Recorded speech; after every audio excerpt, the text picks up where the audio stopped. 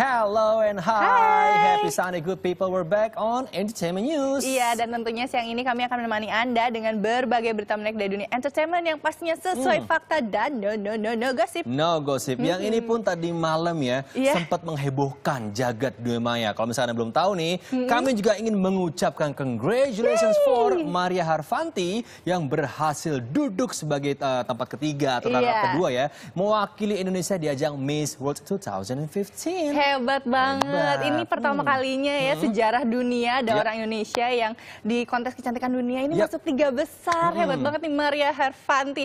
Dan memang waktu dia di 20 besar tuh dia udah di ranking 8 gitu. Mengalahkan cewek-cewek lain di dunia Iya, gitu hebat ya, kan. bener-bener. Dan ya selain cantik, ya punya kepribadian yang bagus, ternyata dia juga jago main piano klasik, Iya. menyanyi juga. Jadi Iya. emang luar biasa. Yang namanya Maria tuh Bener. emang keren-keren gitu. Oh iya, terima kasih. Satu lagi, dia juga menang untuk kategori Beauty with Purpose ya. Prestasi hebatnya. Hebat, Oke. gue membanggakan sekali. Yes. Dan ngomong-ngomong soal prestasi, ini juga ada juga yang memiliki prestasi baik selain di dunia entertainment juga di akademis yaitu Maudi Ayunda. Dan belum lama ini, aktris sekaligus penyanyi ini mendapatkan penghargaan atas pencapaian tersebut. Congrats.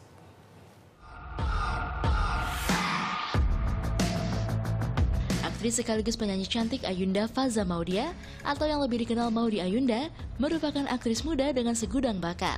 Selain membangun karir di dunia entertainment, Maudi juga sangat memperhatikan pendidikannya. Setelah lulus SMA, ia diterima di delapan universitas ternama, di antaranya Columbia University dan Oxford University.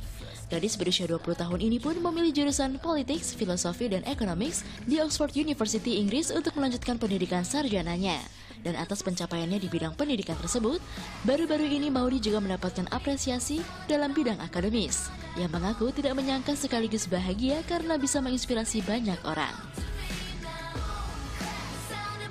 nggak nyangka sih honestly tapi sangat-sangat kaget tapi juga bahagia banget karena merasa kayak padahal jarang aja sebenarnya em, biasanya kan dunia entertainment dan akademis itu mungkin biasanya dilihat terpisah gitu tapi sekarang ini justru dari dunia entertainment aku merasa aku diapresiasi secara dari sisi akademis juga jadi rasanya berbeda sekali dan em, senang banget bahwa ternyata aku bisa menginspirasi banyak orang gitu.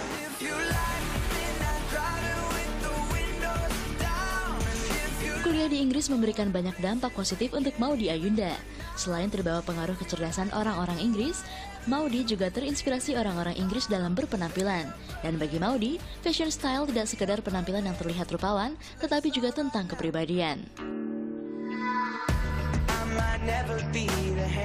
aku rasa fashion is really all about fashion aku itu I would say I mean aku banyak terinspirasi mungkin juga karena aku sekolahnya di Inggris aku suka banget style Inggris in the sense that I love playing with boots and I love playing with sweaters maksudnya yang bahan-bahan earthy dan um, aku suka banget autumn weather. Jadi aku suka kayak warna muted pastel aku suka warna-warna earthy. Jadi em, mungkin itu sih kayak tapi kalau secara tekstur bahan dan lain-lain aku fleksibel banget.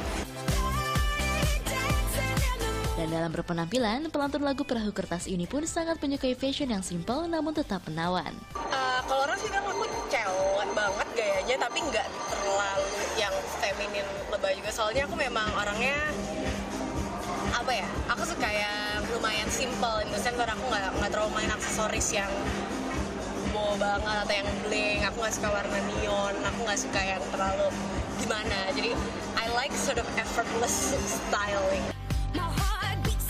Sukses untuk karir dan pendidikannya ya Maudi.